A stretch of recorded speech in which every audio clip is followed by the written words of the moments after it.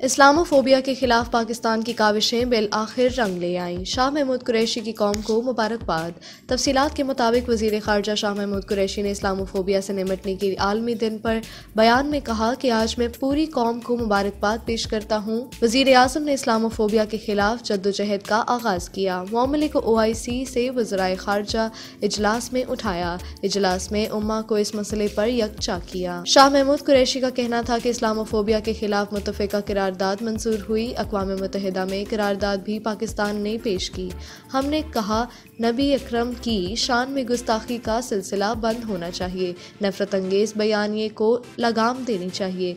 वज़ीर खारजा ने कहा कि वजी अजम ने इस्लामोफोबिया के बढ़ते रुझान का तकरीर में ज़िक्र किया और पाकिस्तान की काविशें बिलाखिर रंग ले आईं।